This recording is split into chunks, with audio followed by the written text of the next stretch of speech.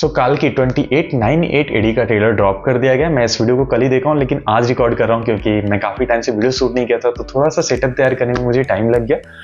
तो बात करते हैं मुझे कैसा ट्रेलर लगा? मैं थोड़ा सा प्राइज हूँ सबसे पहले तो मैं ट्रेलर देख करके क्योंकि जितनी भी इसके ग्लिम्सेज वीडियो आए थे टीजर आए थे पोस्टर आए थे थोड़ा मुझे लग रहा था कि हिंदू स्क्रिप्चर्स के हिसाब से ज़्यादा रहेगा। मतलब हिसाब से नहीं मतलब कि उससे इंस्पायर्ड ज़्यादा रहेगा और साइंस फिक्सन कम होगा। यानी मैं रेशो लेकर के चला था कि हिंदू स्क्रिप्चर्स से इंस्पायर्ड जो होगा वो 80 परसेंट होगा और साइंस फिक्सन 20 परसेंट होगा।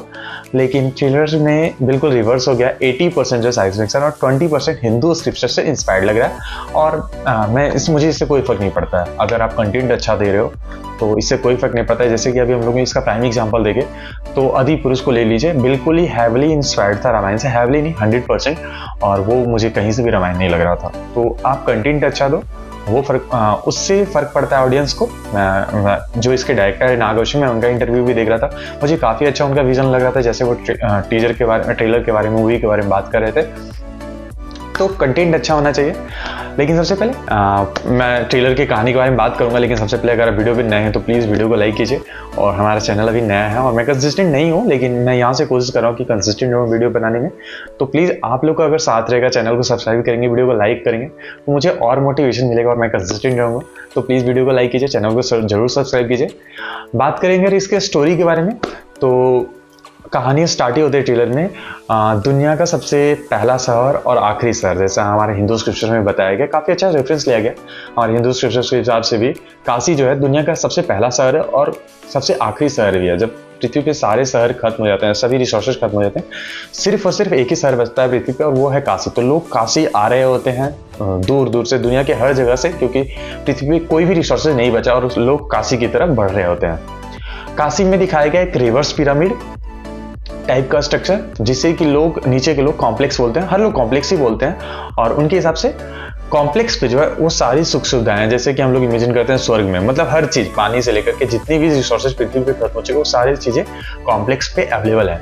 कॉम्प्लेक्स पे रहते कौन लोग हैं? तो कॉम्प्लेक्स पे सिर्फ़ और सिर्फ़ अमीर लोग रहते हैं और या फिर जो, जिन लोगों को वो अलाउ करते हैं, वही लोग कॉम्प्लेक्स पे रह सकते हैं।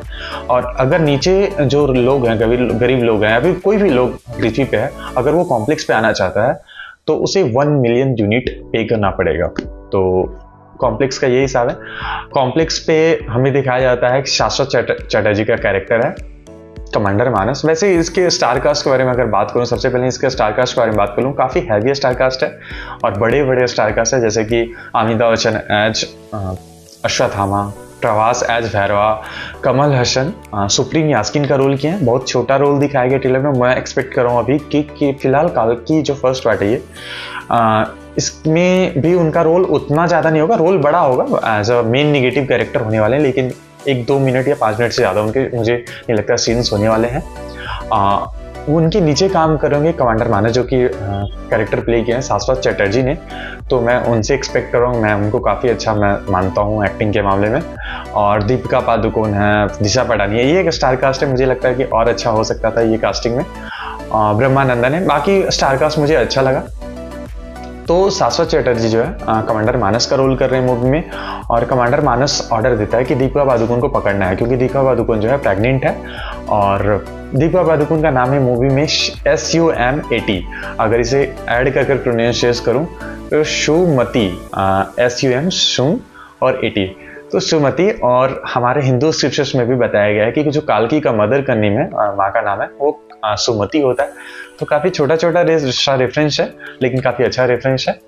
और कालकी मतलब कालकी जो है, दीपिका पादुकोण के पेट में पल रही होती है और उसे जो है कमांडर मानस पकड़ने का टास्क देते हैं और नीचे जो है प्रवास एज भैरवा रह रहे थे और मैं एक्सपेक्ट कर रहा था कि वो काल की है। मैं जितने अभी तक ग्लिम्सेस देखा हूँ मैं एक्सपेक्ट कर रहा था कि प्रवास का रोल काल की होने वाला है लेकिन ऐसा नहीं है। आ, अभी तक तो ट्रेलर में यही दिखाया गया कि वो भैरवा है और वो एक बॉन्टी हंटर का रोल प्ले कर रहे हैं। लाइक उनको कोई टास्क दिया जाएगा वो कंप्लीट करेंगे। और दीपिका पादुकोण को पकड़ने के लिए वन मिलियन दिए जाने वाले हैं। तो ऑब्वियसली बात है कि लोग चाहेंगे कि एक ही टास्क में वन मिलियन हो जाए और वो डायरेक्ट कॉम्प्लेक्स पे चले जाए और प्रवास भी ये टास्क एक्सेप्ट कर लेते हैं और फिर वो पकड़ने जाते हैं। फिर उसके बीच में आएँगे।